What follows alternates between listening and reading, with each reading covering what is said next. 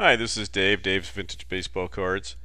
Uh, as you may know, if you don't know, you know now, uh, we're one of the larger dealers in the uh, Topps Venezuelan baseball cards.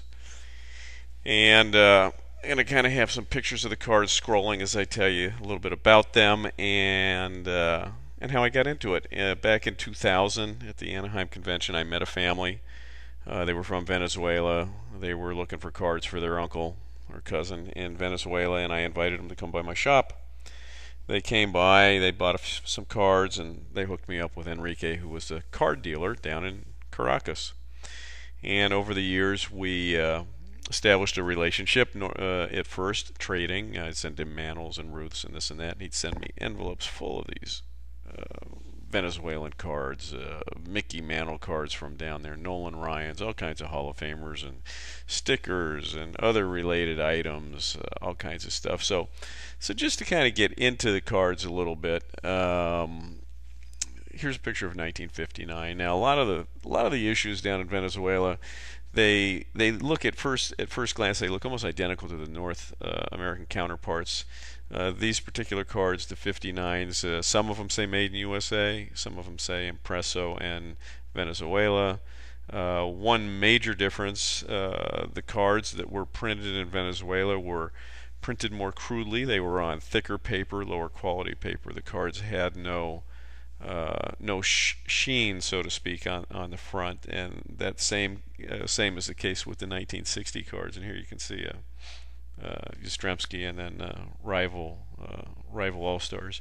Uh, the sets were smaller also. There were um, 196 of the 1959s, 198 of the 1960s and 62s.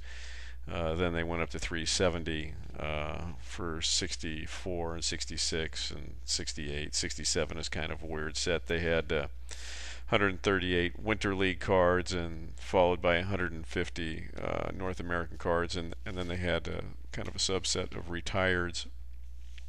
In the 1962 cards, which you can see here, these cards actually are printed in Spanish on the back, and that Louis Aparicio, uh, card number 200 in this set, usurps the Mickey Mantle because in the North American set, Mickey Mantle was was number 200 and Gaylord Perry was 199, but they switched it because Elio Chacon, a Venezuelan, and Luis Aparicio, a Venezuelan, they wanted them in the set. So they actually took images of those uh, and superimposed them and kind of redid them. And when you find those cards, uh, they usually have white stuff off to the side of the borders. They're not centered very well. In fact, in some cases, uh, the grading companies don't even think they're real cards, but they are. Uh, the 1964s are different in that they have a black back. The front of the card is identical. The back, the, the numbering, everything is the same, but the back is in black. The 66s are very difficult to tell the difference because uh, they look identical. They say made in USA, but uh, no gloss on the cards and they're thicker uh, cardboard, slightly thicker. It's very hard to tell, but lower quality. And the orange on the back is a deeper shade of orange, whereas a North American counterpart is more like a uh, peach colored orange, if you will. The 67s uh, have thin borders. Uh, the North American, uh, the Major League Baseball ones, they use the same images from the cards we had up here, but they have they're smaller cards and they have very thin borders. Uh, and on the back, uh, there's no stats, so to speak. It's there's the stats in Spanish in a paragraph. There's a phrase uh, about each player, uh, and then there's the, uh, of course, the minor, the uh, Winter League cards are with a lot of Venezuelan players and some North American players mixed in, players from North America that went down and played down there uh, as well as, uh, and then of course they're in Spanish also. And the retired group, there's 50 cards there, and you have like Ted Williams, Whitey Ford, Sandy Koufax, uh, you know, Babe Ruth, Lou Gehrig, uh, a lot of you know really popular players in there. 1968, uh, you're going to see several cards here, some nice Hall of Famers. They look identical to the North American cards, except on the bottom of the cards they say Impreso in Venezuela. Uh, no, no, they don't say that. I'm sorry. They say Hencho. Hencho in Venezuela, Spanish for made in. Um, and you know, they're once again, no gloss on these cards, a little lower quality, but uh, look very nice. And, and, it's very rare that you find these cards in a high grade. You're going to see a Nolan Ryan here, and I've blown up the back of it where you can see it says Hensho in Venezuela. It's a PSA 5. Uh, at the time I got that graded, there were only three fives. Uh, to my knowledge, there's still only three fives, and there are no sixes or anything higher. So this is as good as it gets. You don't find these things in high grade. Then we go to 1970 Ovenca. These were produced by Sport Grafico down there. It's a 300 card set. Uh, they had glossy cards and they had flat cards. uh, they have a subset at the back of it, which is their immortals, uh, their superstars, so to speak. Uh, you've got uh, some of the uh, Venezuelan heroes who played up north, like Vic Davalillo and Louis Aparicio and his dad and Cesar Tovar and popular players like that. And there was also different type of sports scenes. In 1972, you see a sticker here of uh, Nolan Ryan. Uh, these cards slash stickers are paper thin. Uh, they were almost always glued into albums, and like this one, when you get them, you almost always have them with uh, some type of glue residue on the back. Uh, then you take a look at the um, at, at, some of the Winter League stickers, uh, 77 Topps stickers, which had a Winter League set, and then also down in Venezuela, stickers that were not issued here. They were in 72, 73, 74, and 76.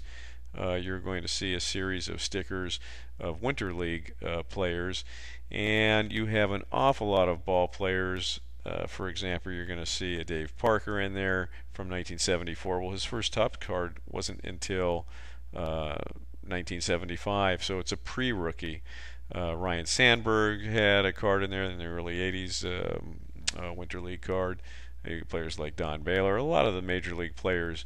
Uh, after the after the season ended, they would go down and play ball in the winter in in South America.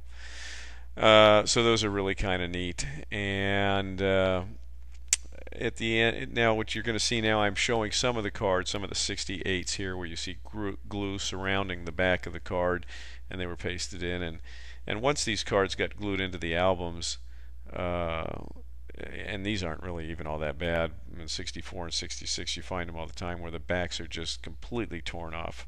Uh, it's very rare to find these cards and uh, any kind of decent condition here. So, uh, you know, and that's just, you know, par for the course. And then, of course, a lot of the time when they get peeled out, you know, they either parts would come off the back or they get creased when they're coming out. But you can go to our website. Uh, you see the links down below scrolling across as we go through this presentation and all these different years and all these different issues have their their own page there and most of them I've got scanned images of all the cards up there uh, at least some of the more valuable ones. And you can take a look uh, if you're interested in these uh, we still have them for sale. I highly doubt you have any that you want to try to sell to me because they're so difficult to get and we cannot get them anymore. Uh, for the last couple years Enrique has quit sending them to me uh, you know with the eBay prices and some of these things going nuts um, the guys down there in Venezuela just don't want to get off the cards and, and sell them at, any kind of a price where I can afford to buy them anymore. So uh, that's it for the Venezuelans. Uh, I hope this was informative for you. If you have any questions regarding them, go ahead and drop us a line, call us, or send us an email. All my information is up. Uh, and I hope you enjoyed this show. So we'll see you soon at Dave's Vintage Baseball Cards. Bye bye.